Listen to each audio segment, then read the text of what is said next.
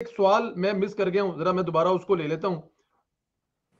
अभी जो मोहसिन बेग साहब है ना, वो मर्द अव्वल मतलब के नंबर वन वज़ीर साहब जो है ना, उनकी दरखास्त के बाद अंदर हुए हैं एफ़ आलिया हमजा साहब एक एम एन ए है पीटीआई की, उन्होंने मरियम नवाज़ के खिलाफ भी इस किस्म की एक दरखास्त दी है कि मरियम नवाज़ ने खातून अव्वल के बारे में कोई ऐसी गुफ्तु या बात की है, और मरियम नवाज़ को गिरफ़्तार किया जाए। क्या कोई ऐसा कदम भी उठाया जा सकता है?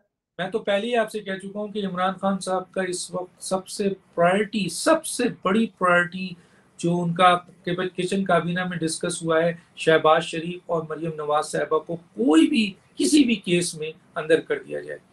शहबाज शरीफ साहब की केस उनको बंद करने के लिए बिल्कुल वो इसलिए चाहते हैं क्योंकि पूरा अदम अतमाद उन पर बेस कर रहा है और पूरा लाइनअप वो कर चुके हैं। मरियम नवाज़ साहबा की बरियत यकीनी है, उनको बता दिया गया है। और वो अगर बाहर आ गई अदालती फैसले के बाद, कानूनी फैसला तो हो चुका है। मैं बार बार कह रहा हूँ, कानूनी फैसला हो चुका है।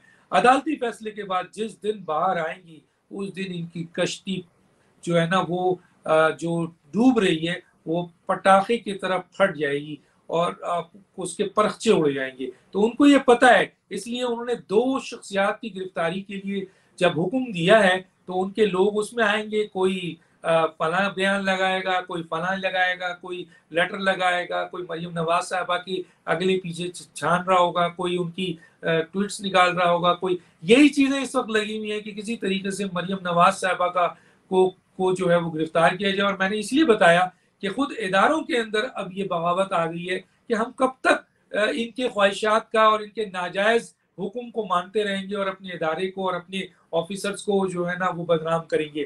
तो बिल्कुल मरियम नवाज़ साहबा के सिलसिले में ये चीज़ें तलाश की जा रही हैं और, और कोशिश की जाएगी कि कोई भी एक तरीक़ेकार करके मरियम नवाज़ साहबा को गिरफ़्तार किया जाए। लेकिन बहरहाल इस मुल्क की अदालतें हैं आज़ाद हैं उसमें।